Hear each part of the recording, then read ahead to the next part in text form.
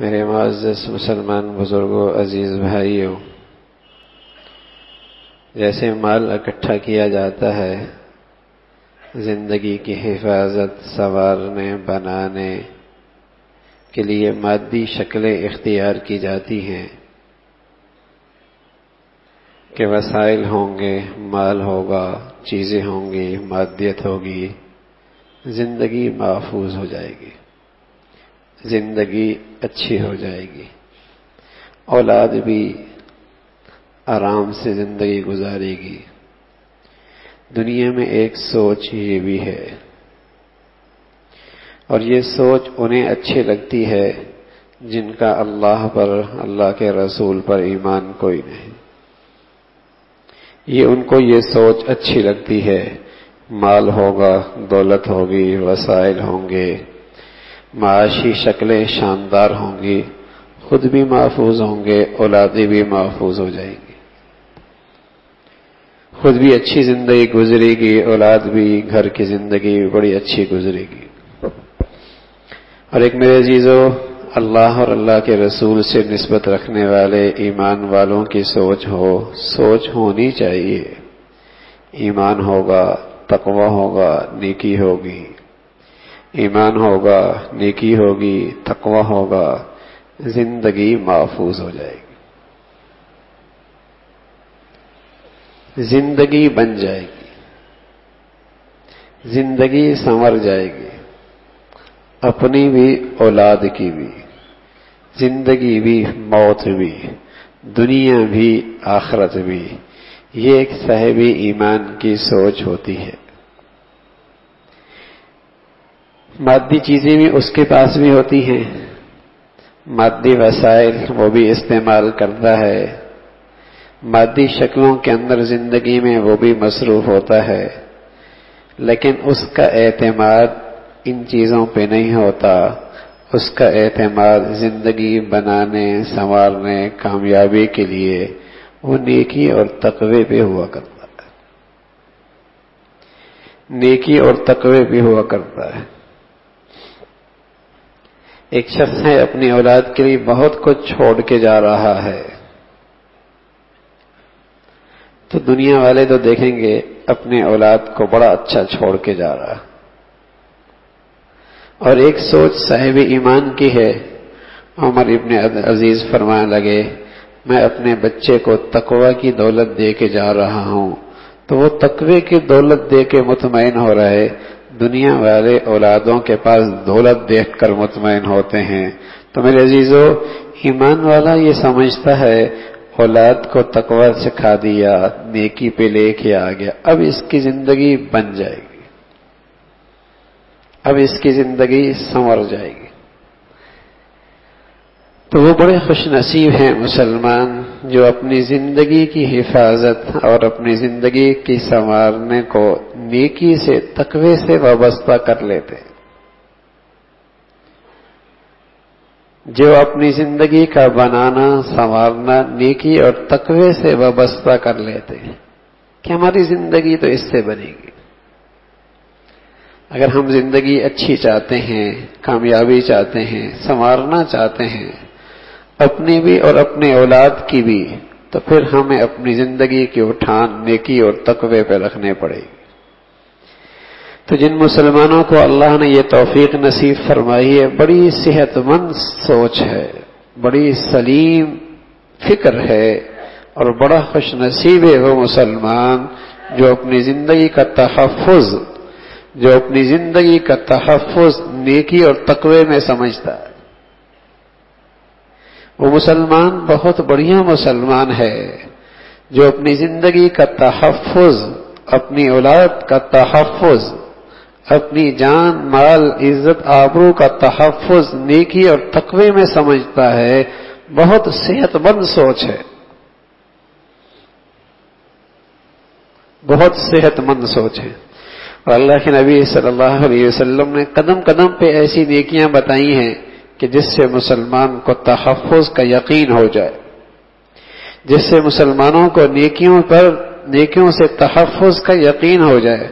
वो अली सलात वसलाम ने फरमाने लगे हसनू अम्वालकुम तुम अपना माल महफूज करना चाहते हो। तो फरमाया हसनो अम्बालकुम बिजका फिर ऐसा करो, जक़ात दे दोगे, तुम्हारा माल किले के अंदर महफूज हो जाएगा। ये अल्लाह के नबी ने अपनी इर्शादात में मुसलमानों का ये जहन बनाया, सोच बनाई कि तुम्हें इस बात का एतमाद और यकीन हो जाए कि तुम्हारा तहफ़ नेकियों से वाबस्ता है। तुम्हारी जान, माल, इज़्ज़त, आबरू की हिफाजत नेकी और तकवे से वाबस्ता है। सलात वसलाम फरमान लगे, वदावू मरदाकुम बिसदका वदावू मरदाकुम बिसदका अपने मरीजों का इलाज करते रहो, सदका दे देकर। बीमारियाँ खत्म होने लग जाएँगी। वस्तकबलू अम्बाजल बला बिदुआई व तजर्रो अपने आप को महफूज रखना चाहते हो, आफात से, हवादिस से, आने वाले मसाइब से महफूज रखना चाहते हो। तो अल्लाह के नबी ने नेकी की तरफ़ तवज्जो दिलाई। फरमाया, वस्तकबलू अम्बाजल बला बिदुआई व तजर्रो तुम अल्लाह के सामने गिड़गिड़ाया करो अपनी दुआओं में। तुम अल्लाह के सामने गिड़गिड़ाया करो अपनी दुआओं में आजिजी दिखाया करो। ये ज़रिया है, इससे आने वाली मुसीबतों और परेशानियों से रास्ता रुक जाएगा। तुम्हारी हिफाजत हो जाएगी। तो अल्लाह के नबी ने अपनी उम्मत का ये जहन बनाया है। कि तुम्हारी ज़िंदगी का तहफ़ नेकी और तकवे के साथ है। तुम्हारी मुश्किलात का हल नेकी और तकवे के साथ है। वो मैतखिल्लाह यजालहू मिन अमरिही युसरा। यजालहू मिन अमरिही युसरा। जो तकवा इख्तियार करता है, अल्लाह उसके लिए हर मुश्किल से आसानी का रास्ता निकाल देता अल्लाह हमें अपने अल्लाह की बात पे यकीन नसीब फरमा। अल्लाह हमें अपनी ज़ात पे, अपने मौला की बात पे यकीन नसीब फरमा दे। कोई कह दे, मियाँ, लाख ले लो, बहुत सारे ज़िंदगी के मसाइल हल हो जाएँगे। कितना इतमान होता है। कितना इतमान होता है। और कोई ये कह दे, मियाँ, तकवा इख्तियार करो। जो तुम मसाइल का ज़िक्र कर रहे हो ना, इसका हल तकवे में समझ में नहीं आता। ये समझ में नहीं आता। मियाँ, तुम ये नेकी इख्तियार कर लो, तकवे पे आ जाओ। तुम्हारी ये परेशानी खत्म हो सकती है। ये आज मुसलमान को समझ में भी नहीं आता। जो अल्लाह ने बतलाई, अल्लाह ने अपने कलाम में बतलाई, वो तो ये नहीं समझ पा रहा। और जो इस जमाना, जो इसे जमाना सबक दे रहा है वो बहुत जल्दी समझ में आती है। तो मेरे अजीजों, नेकी और तकवे पे ज़िंदगी का तहफ़ है। शानदार ज़िंदगी है, शानदार मौत इससे वाबस्ता है। दुनिया भी खूबसूरत है, आखरत भी सादत मंदी की है। कि जब इस ज़िंदगी की उठान नेकी और तकवे पे हो जाए। तो मेरे अजीजों, अल्लाह रबुल इज़्ज़त वो जिन्हें अल्लाह ने नेकी की तौफीक दे रखी है और नेकी की ज़िंदगी पे अपनी ज़िंदगी चला रहे हैं, बड़े खुश नसीब हैं और उन्हें अल्लाह का शुक्र अदा करना चाहिए और अपनी ज़िंदगी में नेकियों में इजाफा करना चाहिए। लेकिन कुछ माशरती कोताहियाँ ऐसी हैं हमारी माशरती ज़िंदगी में कुछ बीमारियाँ और कुछ गुनाह ऐसे हैं, जो बस अवकात हमें नेकी वाली ज़िंदगी की बरकतों से महरूम कर देती। उसकी तरफ़ तवज्जो दिलाना है। बस अवकात तिलावत भी होती है, ज़िक्र भी होता है, नमाजें भी होती हैं, नेकियाँ भी होती हैं। कुछ माशरती ज़िंदगी की ऐसी बुराइयाँ हैं कि हम इन नेकियों की बरकतों से महरूम रहते हैं। जो नेक लोग अल्लाह के गुजरे हैं, उनकी सबसे बड़ी खूबी ये थी कि वो जो नेकियाँ किया करते थे, उन नेकियों की बरकतों से भरपूर फ़ायदा भी उठाया करते थे। इसलिए कि वो अपनी उन नेकियों को जाया होने से बचा लिया करते थे उन्हें उस नेकी की ज़िंदगी की बरकतें भी नसीब होती थी, इसलिए कि वो नेकियों को जाया होने से बचा लिया करते थे।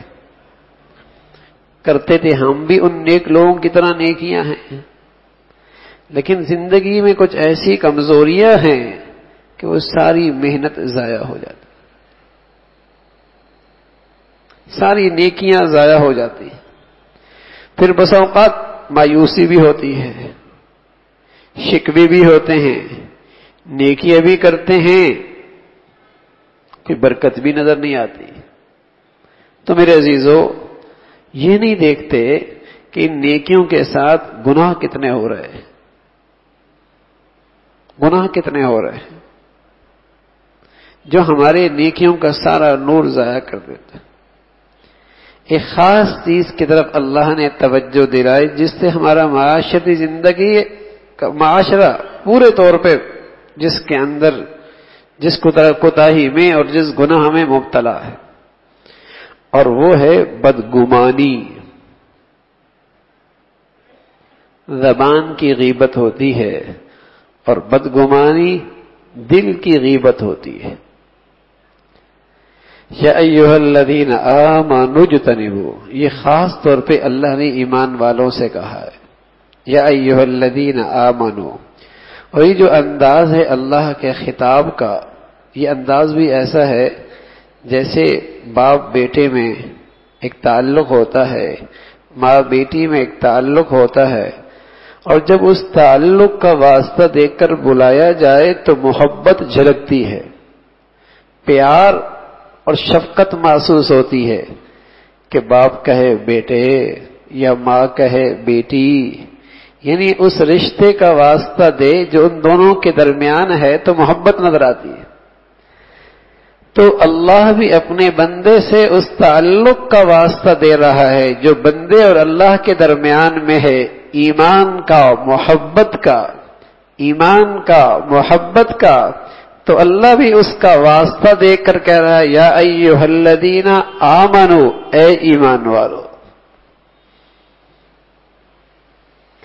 जब बाप बेटे से बेटा कहकर पुकारे तो कोई खैर खाई की बात करेगा, कोई अच्छी ही नसीहत करेगा, कोई भलाई और मसलहती की बात करेगा तो अल्लाह, जिसकी मोहब्बत और शफकत माँ बाप से बढ़कर, जो माँ बाप से बढ़कर मेहरबान, जब वो मोहब्बत के इस अंदाज में बुलाए अपने बंदों को तो बताइए कितनी खैर खाई की आगे तालीम देने लगे और वो फरमाया इजतनी वो कसीर मिन तुम बहुत सारे दिल में गुमान इकट्ठे करते हो। इन नबाद वन इसम, लेकिन बाज गुमान गुनाह है, गुनाह।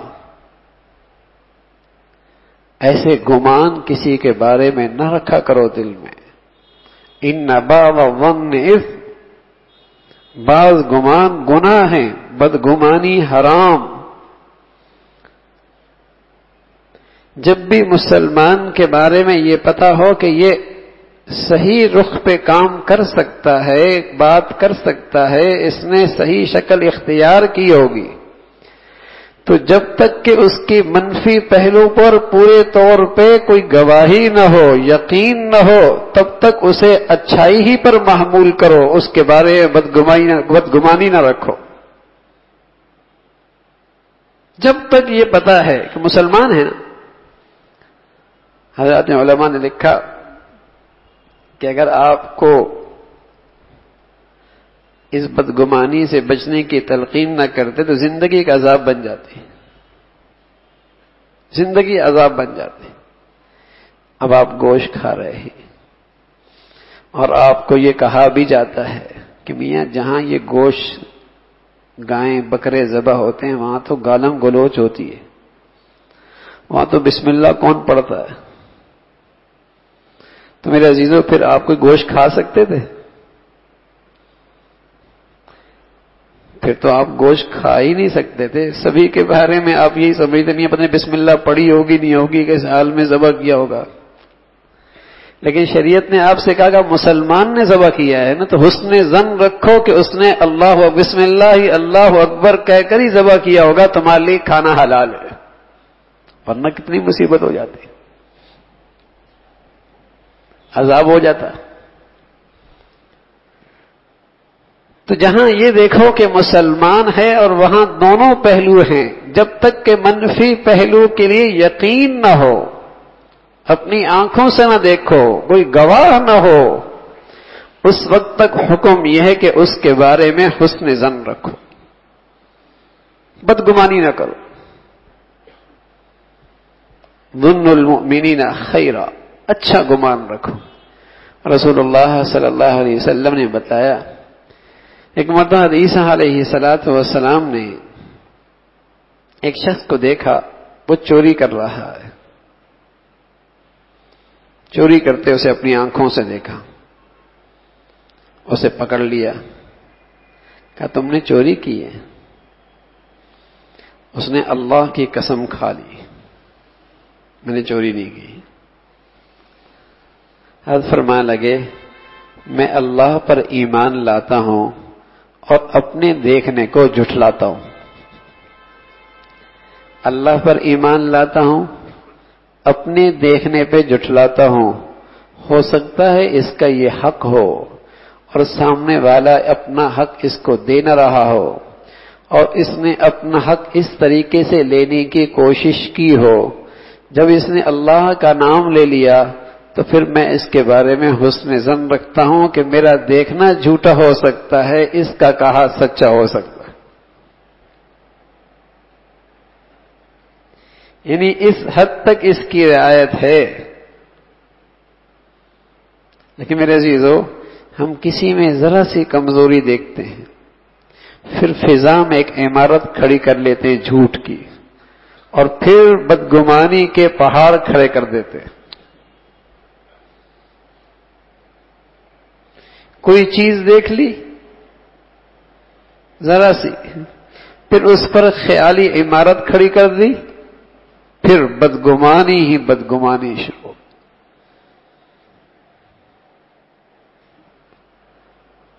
ये हराम है, इससे दिल गंदा हो जाता है। किसी के लिए बदगुमानी रखना। कितने हमारे ज़िंदगी के झगड़ों की बुनियाद ये बदगुमानी है। कितनी हमारी ज़िंदगी की झगड़ों की बुनियाद घरों में, खानदानों में माशरती ज़िंदगी में ये बदगुमानी है। इल्जामात लगा दिए इस बदगुमानी पर। सुनी सुनाई बात पर। सुनी सुनाई बात पर। हालाँकि अल्लाह करीम कहते हैं इंजा अकुम फासिकुम बिना बाइन फतह कोई फासिक खबर लेके आए, तहकीक कर लो। ऐसी उसी मत आगे उड़ाओ और फिर अगर वो खबर किसी मुसलमान के मुतालिक हो तो मियाँ बदगुमानी में बिला वजह क्यों मुबतला हो रहा अगर तुम हुस्न जन रखोगे, मुफ़्त की नेकी मिल जाएगी। बदगुमानी करोगे, कर, गर्दन पकड़ी जाएगी। तो आफियत किसमें है? आफियत तो हुस्न जन में है, मुफ़्त की नेकी मिल रही है। बदगुमानी की कल दलील लानी पड़ेगी। हुज्जत लाने पड़ेगी कि मियाँ बदगुमानी क्यों की थी? गर्दन पकड़ी जाएगी। और किसी मुसलमान के बारे में हुस्न जन रखा नेकी मिल जाएगी।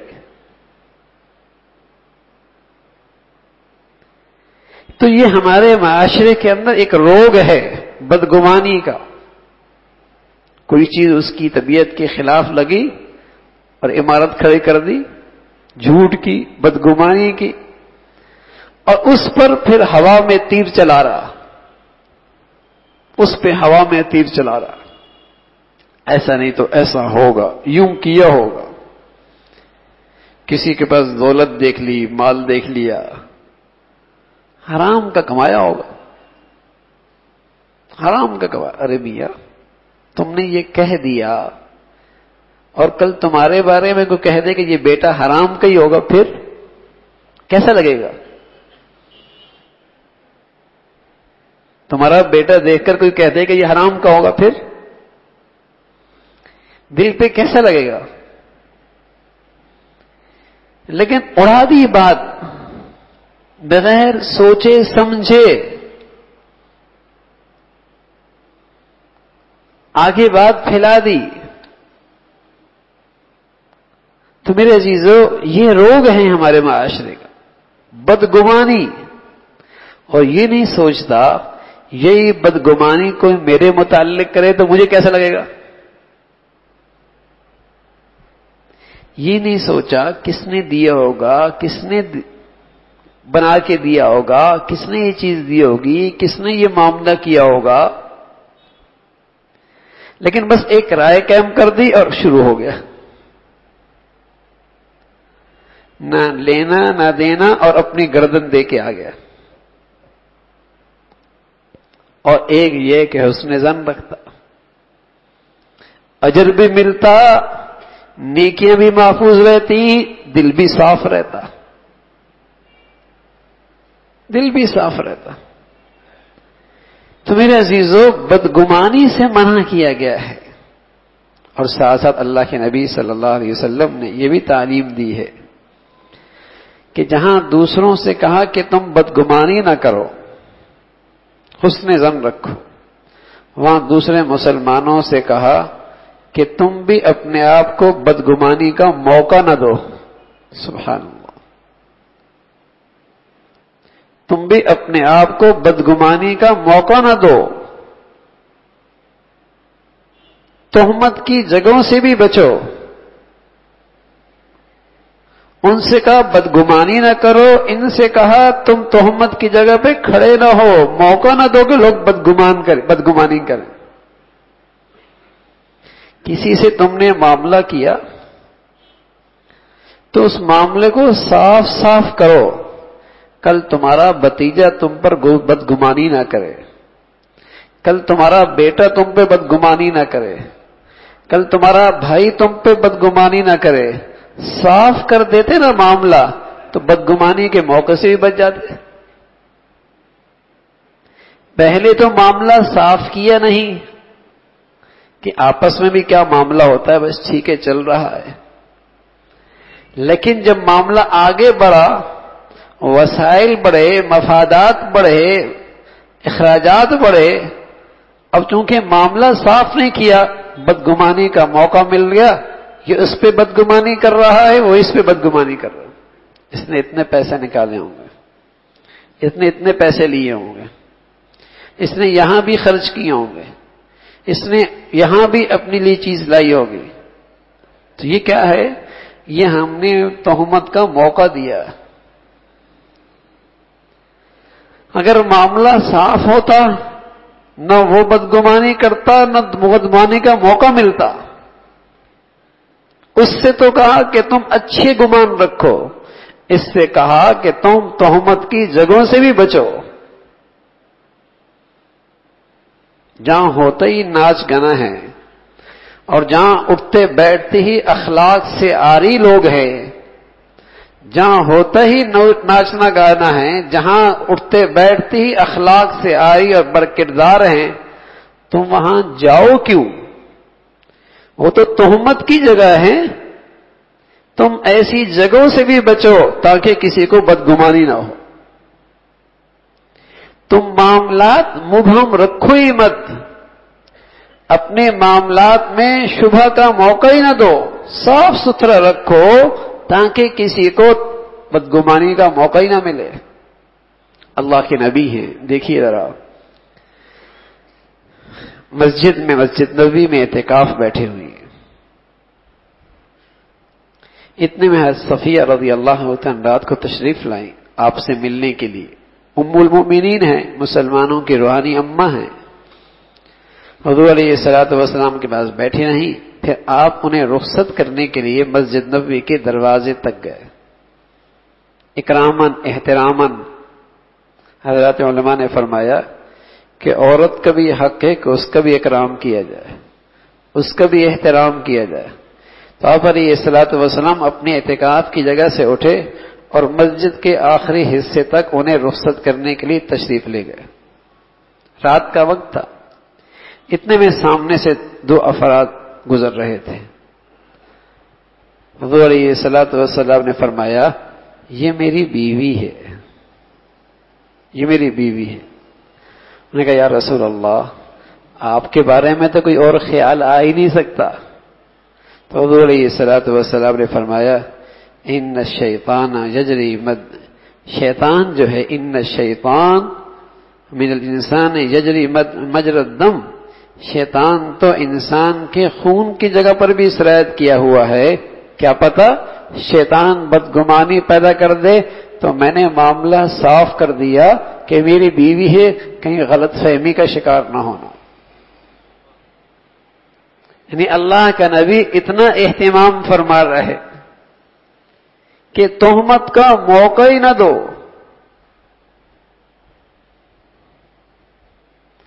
अब तुम किसी गैर से बातें कर रहे हो, अब मोबाइल में उसकी सारी चीज़ें मौजूद हैं, मैसेज भी आ रहे हैं, जवाब भी आ रहा है, घर के किसी फर्द ने उठा लिया, अब उसे बदगुमानी हो रही है तो मौका किसने दिया ये?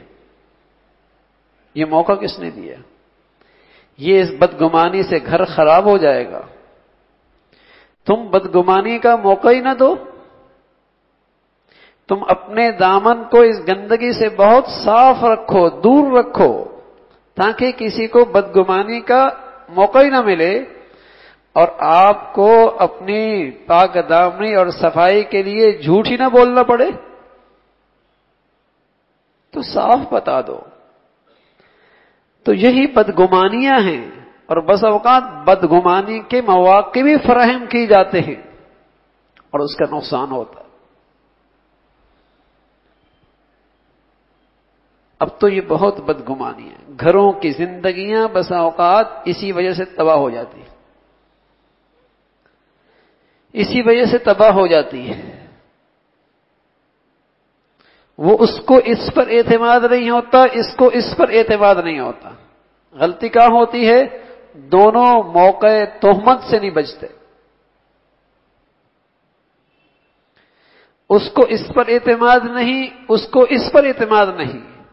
खता कहाँ है कि मौके तोहमत से नहीं बचते? अगर तोहमत का मौका ही ना दें, साफ़ सुथरी ज़िंदगी हो तो फिर बदगुमानी इख्तियार नहीं करेगी बीवी। किसी और को बदगुमानी नहीं होगी। लेकिन अगर ऐसे मौके फराहम किए जाएँगे तो मेरे अजीजों, ये भी तो गलत है। तो इसलिए अल्लाह के नबी सल्लल्लाहु अलैहि वसल्लम की तालीम है कि बदगुमानी से बचो। जहाँ भी देखो किसी मुसलमान सही कायदे के मुताबिक ये काम कर सकता है तो फिर उसके इस काम को उसी पर महमूल करो कि इसने सही किया होगा। जब तक के कोई गवाही, कोई शाहिद आँखों से ना देखा हो, बस अवकात ये घर में बहुत पेश आता है। घर से कोई चीज़ गायब हो गई। अब घर से चीज़ गायब हो गई, अब बदगुमानी शुरू। इसने किया होगा। इसने किया होगा। इसने चोरी किया होगा। तफ्शीश करने की इजाज़त भी है। पूछ गूछ की इजाज़त भी है। जायज़ तरीके से मालूमात भी कर सकते हैं। लेकिन किसी को चोर नामजद कर देना और उसके साथ चोरों जैसा मामला करना और उसके बारे में दिल में बदगुमानी रखना, ये जायज़ नहीं है। चीज़ें संभाली जाए, चीज़ें महफूज रखी जाए। लेकिन अगर कोई चीज़ चली जाए तो बदगुमानी नहीं। उसके साथ चोरों, जब तक के आपके पास गवाही मौजूद ना हो, आपको यकीन ना हो। आयत आयशा रज़ी अल्लाह तना फरमाया करती थी, एक खातून थी जो मदीना मुनव्वरा में आया करती थी और फिर बाद में मुसलमान हो गई। तो वो अक्सर एक शेर कहा करती थी। और उसका मजमून ये था कि वो हार के गुमने का दिन भी अल्लाह की कुदरत का अजीब दिन था कि जिसने मुझे कुफर से इस्लाम की तरफ़ पहुँचा दिया। तो ऐशा फरमाया करती थी कि ये तुम क्या पढ़ती रहती हो?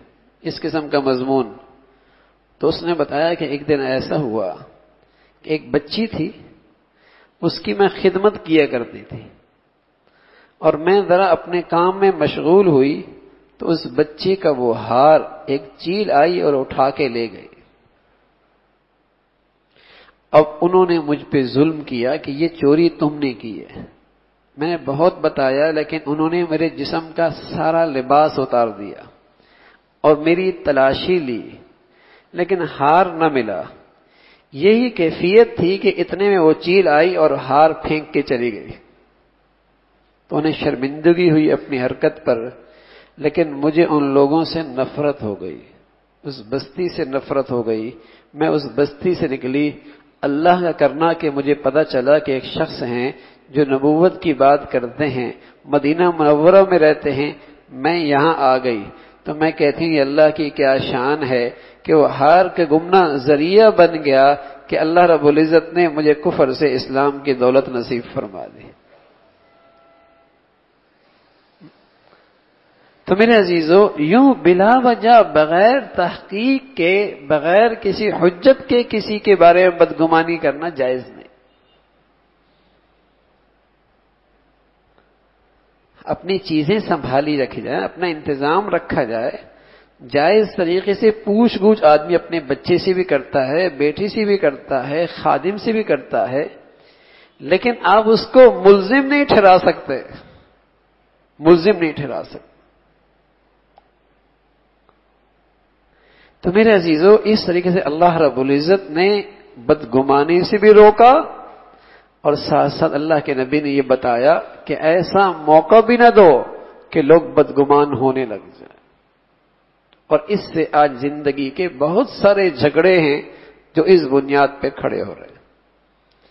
या तो बदगुमानी का मौका दिया जा रहा है, कारोबारी मामला देखिए, जहाँ दो साथी साथ हैं, एक वक्त तक तो चलता रहता है जहाँ भाई दो इकट्ठे हैं, कारोबार कर रहे हैं, जहाँ दोस्त इकट्ठे हैं, अगर वो मामलात साफ़ नहीं करते, दिल खराब होने लगता है। दिल खराब होने लगता है।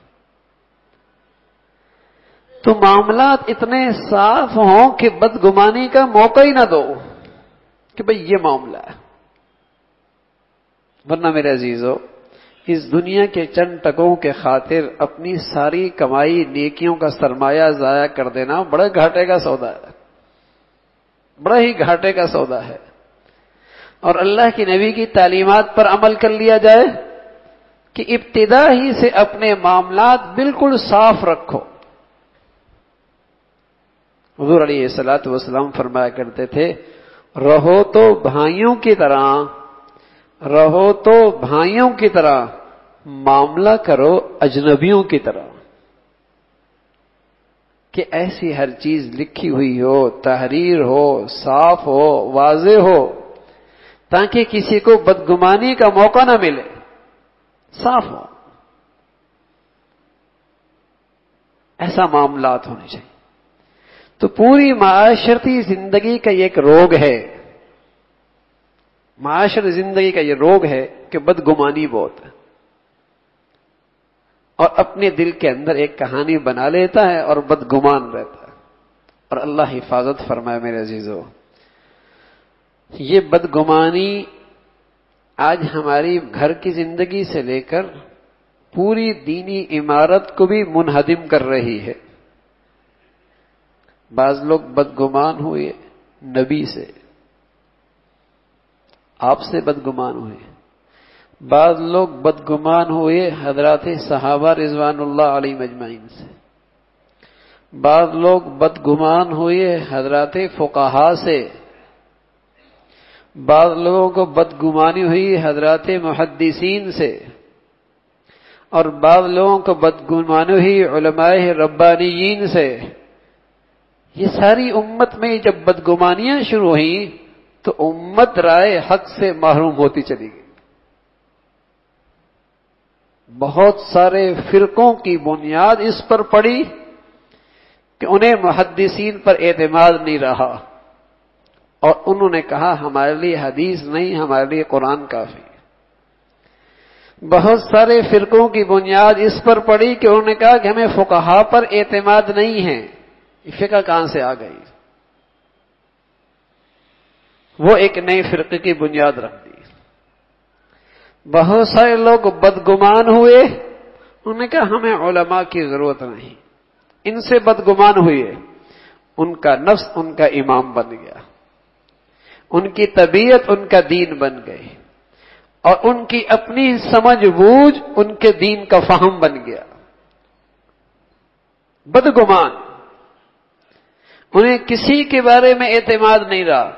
अगर उन्हें हुस्न जन है तो सिर्फ़ अपनी जात से। बाकी सबसे बदगुमान।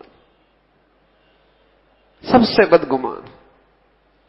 अगर हुस्न जन है तो अपनी जात से। तो, तो गुमराही की बुनियादें इसी बदगुमानी पर हैं। और मेरे जीजो आज मुसलमानों की दीनी की दीन की बर्बादी भी इसी पे है कि उनके अंदर बदगुमानी का मरज शिरायत कर गया। बस औकात उन्हें अच्छी सोबत मिलती है, लेकिन शैतान उन पर बदगुमानी का हमले करता है और बदगुमान कर देता है। नतीजा क्या निकलता है? उस सोहबत से उन्हें फ़ायदा ही नहीं होता।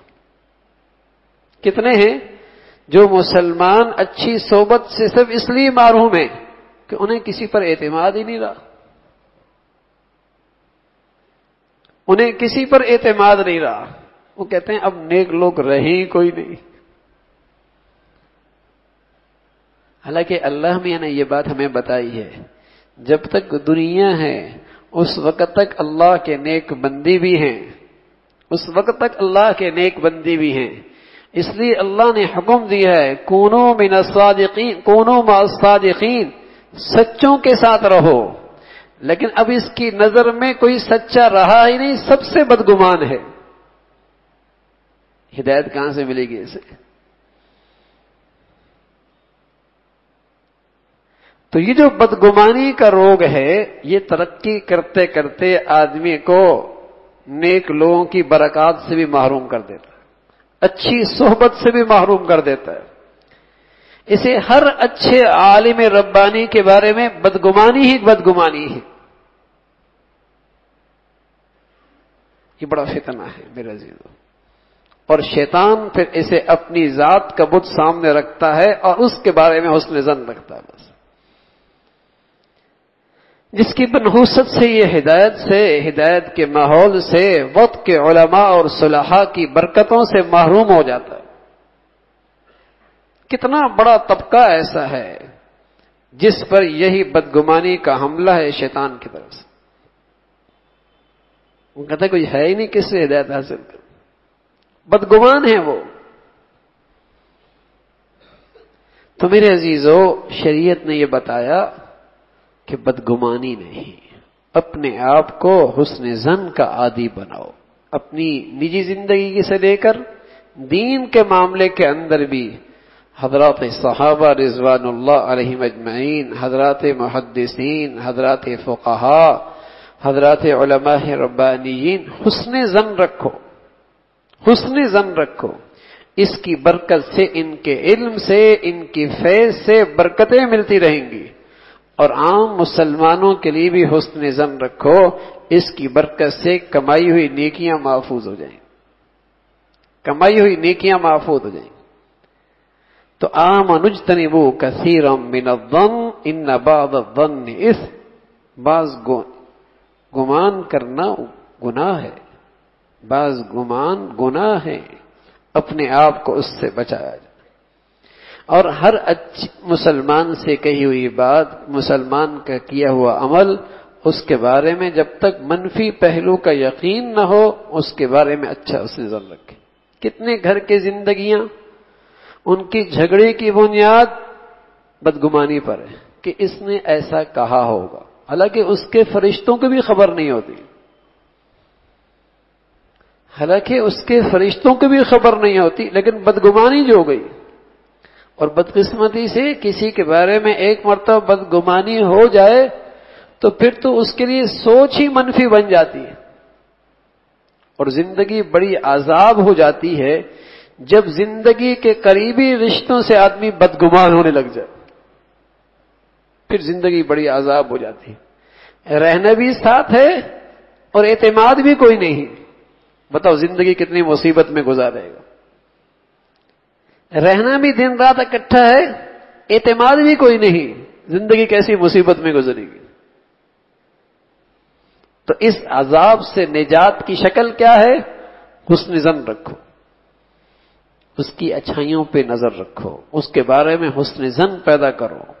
अल्लाह का हुक्म है कि तुम इसके बारे में हुस्न जन रखो। और फिर मेरे अजीजों, कौन सा इंसान ऐसा है एक अल्लाह के नबी है, सल्लल्लाहु अलैहि वसल्लम। सभी के अंदर कमियाँ हैं, कमजोरियाँ हैं। अगर घर के करीबी रिश्तों में कहीं कमज़ोरी देखो तो ये ख्याल रखो कि इसमें खूबियाँ भी तो बहुत हैं, ताकि तुम्हारा दिल हुस्न जन का आदि बने। मनफी सोच के बजाय, मुस्बत सोच का आदि बने। खूबियाँ भी तो बहुत हैं। कमियाँ तो सभी में होती हैं, कमजोरियाँ भी होती हैं। अगर तुमने मनफी सोच बना ली और अपनी ज़िंदगी की बुनियाद मन बदगुमानी पे रख ली तो ज़िंदगी नहीं गुजर सकती। ज़िंदगी नहीं गुजर सकती। कहीं दफ्तर नहीं चल सकता, कहीं फैक्ट्री नहीं चल सकती, न घर की ज़िंदगी चल सकती है। बदगुमानी से नहीं चलती। ज़िंदगी की ये सारी तरतीब तो हुस्न जन से चलती है। हुस्न जन से हुस्न जन रखो किसी के बारे में। तो मेरे अजीजों, उससे फिर ज़िंदगी के अंदर इतमान आता है, ज़िंदगी परवान चढ़ती है। और दूसरा सबक भी पेश नज़र रहे कि अल्लाह हमारी ज़िंदगी ऐसी बना दे कि हम दूसरे को बदगुमानी का मौका ही न दें। हम दूसरों को बदगुमानी का मौका ही न दें।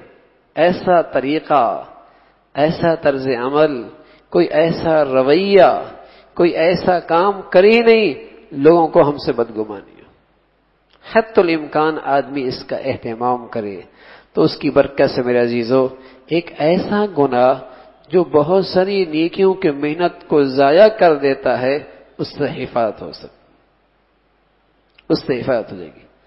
जबान की गीबत भी बहुत बुरी है। लेकिन दिल की गीबत जैसे दिल का मरज, जिसम के मरज से ज़्यादा खतरनाक होता है ना? जैसे दिल का मरज, जिसम के मरज से ज़्यादा खतरनाक होता है, ऐसी दिल की ये गीबत भी ईमान के लिहाज से बड़ा खतरनाक होता एक दिन अवदत अनस रज़ी अल्लाह तु से हजूर सलात ने फरमाया, अनस अगर तुझसे ये हो सके तो ऐसा ज़रूर कर कि तेरा दिन रात यूँ गुजरे कि तेरे दिल में किसी के लिए बदगुमानी, खोट, बुराई ना हो। तेरा दिन रात ऐसा गुजरे कि तेरे दिल में किसी के लिए बदगुमानी, बुराई, खोट ना हो। साफ़ सुथरा हजूर सलात वसलम अपने साथियों से कहा करते थे कि मेरे सामने कोई तस्करा मनफी ना किया करो मेरे साथियों के बारे में। इसलिए कि मैं इनके सामने जब जाना चाहता हूँ तो मैं चाहता हूँ मेरा दिल इनके लिए साफ़ सुथरा हो। सुबह मेरे लिए सामने इनके कोई मनफी तस्करे ना किया करो। इसलिए कि मैं जब इनके सामने जाना चाहता हूँ, मेरा दिल चाहता है कि मेरा दिल बिल्कुल साफ़ सुथरा हो। जैसा मेरा ज़ाहिर का मामला हो, मेरा दिल भी इनके लिए साफ़ सुथरा हो। तो मेरा जीजो बड़ा खुशनसीब मुसलमान है। जिसका ज़ाहिर भी साफ़ हो जाए, जिसका बातिन भी साफ़ हो जाए। जो अपने ज़ाहिर के मामले में भी अपने अल्लाह से डरता हो और अपने बातिन के मामले में भी अपने अल्लाह से डरता हो। इसलिए कि अल्लाह तो ज़ाहिर को भी जानता है, दिलों को भी जानता है। वाहुसिल अमाफिस्तूर वाहुसिल अमाफिस्तूर ये दिल की सारी कहानी भी बर्तन में सामने आ जाएगी कि यहाँ किस किस के लिए खोड़ था किसके लिए बदगुमानी पाल रखी सब सामने आ जाए। तो अपनी ज़िंदगी को हुसन जन पे लेके आइए, मुसलमानों से और खसूसन अहले दीन से, अहले इल्म से और दीन की खिदमत करने वालों के मुतालिक हुसन जन हो। शैतान दीन से महरूम करना चाहता है, तरबियत से महरूम करना चाहता है, बदगुमानी में मुबतला कर दे। बदगुमानी में मुबतला कर दे। और यूं ये खाली हाथ रहता है अल्लाह रब्बुल इज़्ज़त भाई इस बदगुमानी की फितनों से हम सबकी हिफाजत फरमाए आखिर दावाना अनिलहमदिल्लाहि रब्बिल आलमीन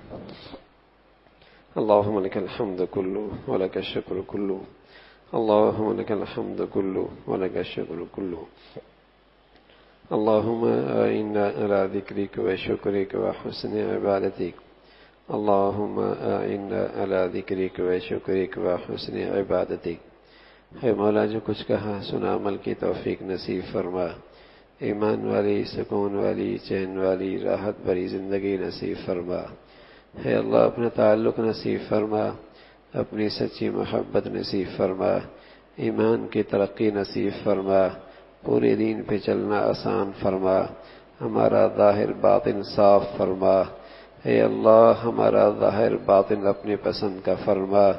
अल्लाह, ज़िंदगी में, सेहत में रिस्क में बरकत नसीब फरमा। हादिसात सानिहात मूजी और देर पा बीमारियों से महफूज फरमा।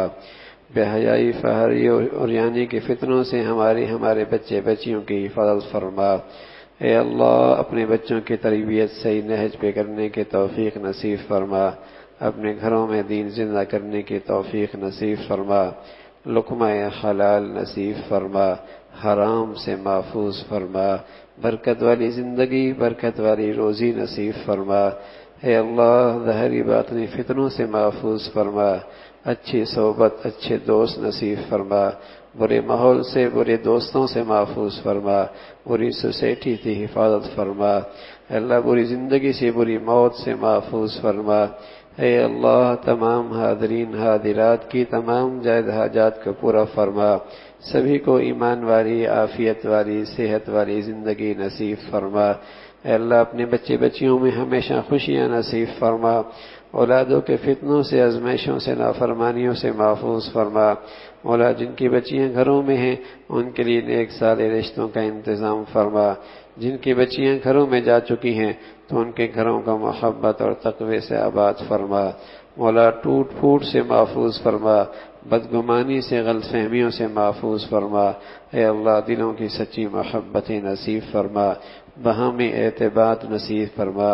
ए अल्लाह, अपने फजल से, अपने करम से, दुनिया भर में जो भी, जहाँ कहीं भी तेरा दीन का काम इखलास से कर रहे जो तेरे यहाँ मकबूल हैं। उनकी अजमत, मोहब्बत, कदर, नसीब फरमा। उनकी मेहनतों को, कुर्बानियों कबूल फरमा कर, दीन को सरबुलंदी नसीब फरमा।